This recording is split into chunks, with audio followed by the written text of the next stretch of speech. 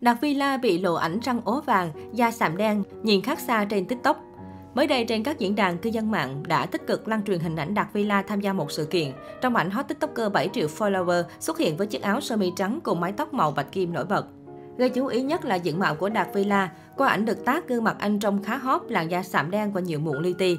Ngoài ra mắt và môi Đạt cũng khá thâm, đặc biệt hàm răng bị soi ố vàng, răng khớp khểnh khác hẳn với những hình ảnh do chính chủ tự đăng trên mạng xã hội. Dưới bài viết, nhiều người bày tỏ ngã ngửa, đồng thời để lại bình luận chê bai ngoại hình Đạt Villa. Trong thế mà không hiểu sao làm idol top top được. Trên TikTok trông trắng trẻo cơ mà, cứ bẩn bẩn thế nào ấy, mắt đen môi thâm, răng ố vàng như hút thuốc lào ấy nhỉ. Ở những hình ảnh tự đăng đã qua Photoshop hoặc sử dụng app, Đạt xuất hiện với làn da trắng trẻo mịn màng hơn nhiều. Cách đây không lâu, TikToker nổi tiếng này cũng đã gây chú ý khi loạt ảnh thời ô kìa bất ngờ được các diễn đàn xe nhiệt tình cùng những so sánh nhận xét về ngoại hình. Qua hình ảnh chia sẻ có thể thấy ngày xưa Đạt Villa trông gầy gò và đen, so sánh với bây giờ mọi người phải thừa nhận anh đã có một sự lột xác không hề nhẹ.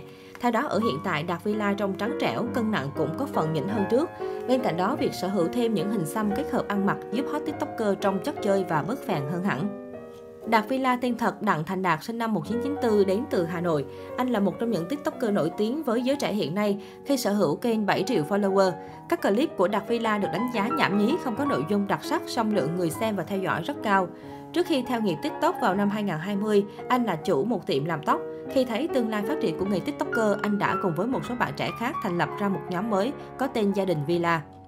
Ngoài sự nghiệp gây nhiều chú ý, trước đó Chiến X còn liên tục chiếm sóng khi công khai yêu một cô bạn gái tên Vihia cũng là một tiktoker nổi tiếng đến từ Indonesia.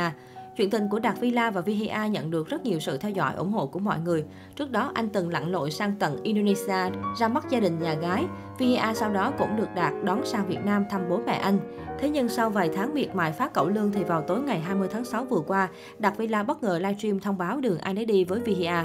Theo Đạt Villa chia sẻ, Vihia chính là người chủ động nói lời chia tay do vấn đề tôn giáo.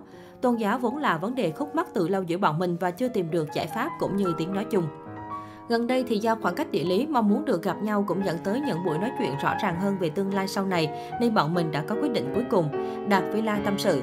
Hậu chia tay, mọi động thái của Đạt Villa và Vihia đều nhận được sự quan tâm của đông đảo cộng đồng mạng, đặc biệt là gia đình Đạt Villa. Theo đó, ngay khi chia tay, Đạt Villa đã liên tục đăng tải clip thể hiện nỗi buồn đau da diết, thậm chí anh còn đổ bệnh phải cần người chăm sóc. Trong khi đó, Vihia cũng buồn không kém khi lộ gương mặt tiều tụy thiếu sức sống.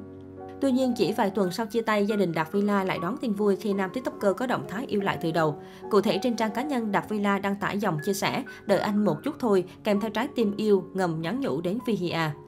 Bên dưới dòng chia sẻ, bạn thân và em gái của Đạt Villa cũng nhanh chóng bày tỏ sự vui mừng và mong Đạt Villa sớm quay lại với Vihia. Fan của anh chàng cũng vui phải biết khi thần tượng của mình sắp về lại bên nhau. Còn đối với anti-fan, họ cho rằng Đạt Villa chỉ đang diễn tuồng để cầu tương tác.